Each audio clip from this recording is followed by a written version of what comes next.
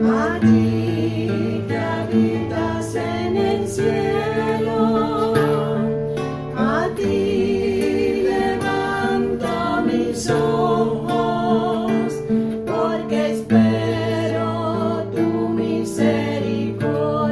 Miércoles de la tercera semana de Cuaresma del Evangelio según San Mateo capítulo 5 versículo del 17 al 19.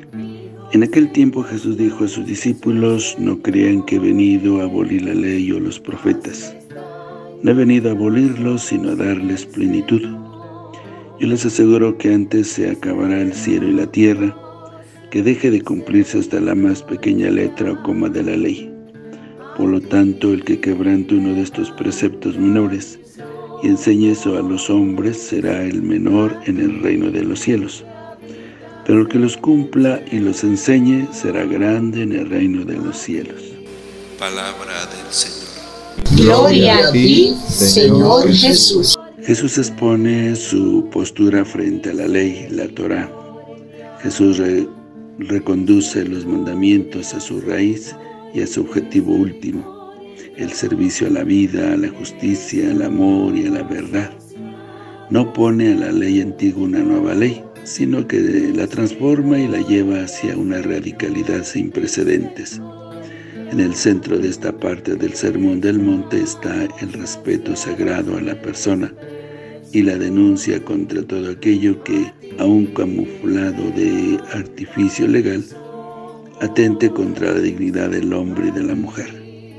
Jesús critica las interpretaciones ex- exageradas que los maestros de su época hacían de la ley, pero hoy la defiende, diciendo que hay que cumplir los mandamientos de Dios. Más aún, Él no ha venido a abolir la ley, sino a darle plenitud, a perfeccionarla. ¿Cuál es la plenitud de todo mandamiento? El amor. Sin amor, los preceptos pueden convertirse en barreras un peso. Jesús no vino a destruir, sino a construir, a continuar lo que hicieron los grandes profetas y de lo mejor de la ley de Moisés. Algunos preceptos concretos los lleva hasta las últimas consecuencias por el amor. La ley solo tiene valor en cuanto es expresión del amor de Dios y a los hombres. Su observancia de plantearse desde el amor a Dios y al prójimo. Además de dejar claro que la asignación de los lugares en el reino compete solo a Dios, Jesús enfatiza el servicio como la verdadera grandeza de la comunidad y por lo mismo su distintivo fundamental.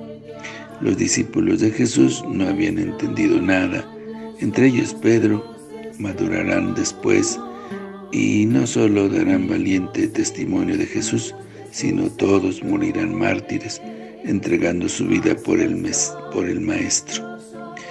En nuestro camino de preparación de la Pascua se nos propone hoy un, modelo, Cristo Jesús, que camina decididamente en el cumplimiento de su misión, va camino de la cruz y de la muerte, el camino de la solidaridad y de la salvación de todos.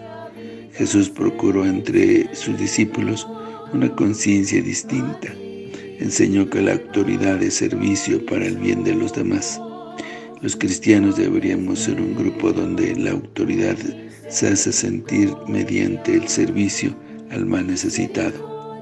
Oremos por nuestras autoridades para que sean líderes que con su actitud de servicio procuren realmente el bienestar de todos y no trabajen solo para su propia honra.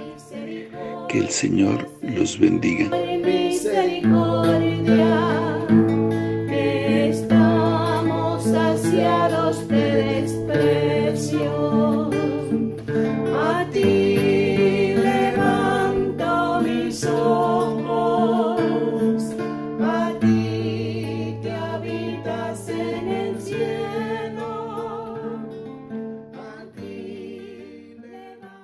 La bendición de Dios Todopoderoso, Padre, Hijo y Espíritu Santo, descienda sobre ustedes, que los acompañe siempre.